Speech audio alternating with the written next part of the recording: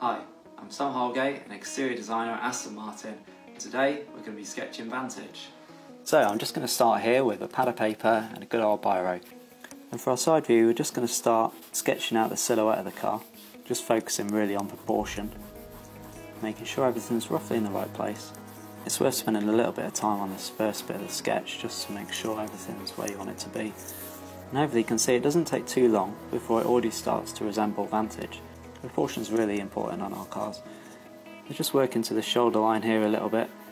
Um, one of the nice things about Vantage is it's got this really elegant shoulder line that runs right from the front of the car right to the back. And that's something we took from uh, the previous Vantage.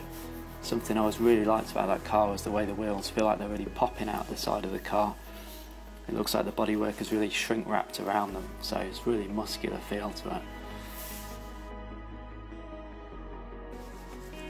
And another key feature at the front of the car is this really distinctive nose on Vantage um, and the way that the grille, this S curve that we have,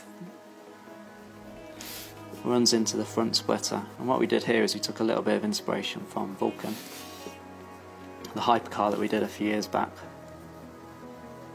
many of you will know, crazy thing. And we added that into our into our sports car, so really makes the car feel like it's planted right down to the ground. And inside there is kind of quite aggressive shark nose mesh. Gives a real purposeful um, look to the front of the car. Another key line is this line that runs right from the front, this really low nose on Vantage, right through the body side and up into this signature kick on the back of the car. This kind of, we call it a ducktail at the back. It's a signature Aston Martin kick, I suppose. And that gives the car a lot of wedge, so really gives us dynamic stance. If you think about a sprinter ready to go on the starting blocks, this kind of angle of attack, this uh, makes the car feel like it's moving even when it's stationary.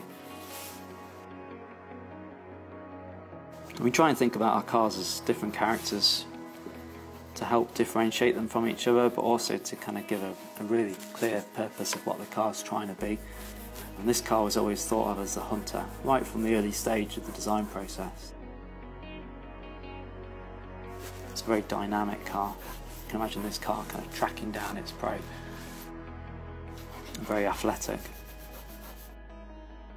There's not really a right or wrong way of doing this. Everyone's got their own unique way of sketching. I'm just adding a little bit of light and shade here, so just picking out areas that would sit in shadow and trying to think about how best to describe the form really. We often think about how the car would look sitting in natural lighting. It's how we design the cars most of the time. And I've probably done hundreds of sketches of this car over the years it's often those one or two first ones that you did early on that really capture that character of the car, that have that real spark about them, I suppose. My favourite part of the design process is that, that point where um, it turns from a 2D sketch into a 3D form. You've got a great team at Aston Martin of uh, clay and digital modelers who will help bring your sketch alive really and that's always the cool part of the process. And you start to see it become a 3D object. It takes about somewhere between three to five years to go from a, from a sketch to a, a production car. It's really, really rewarding for everyone when they see it out there. But what's really nice about it is that it all starts with, with just a quick sketch, just like this.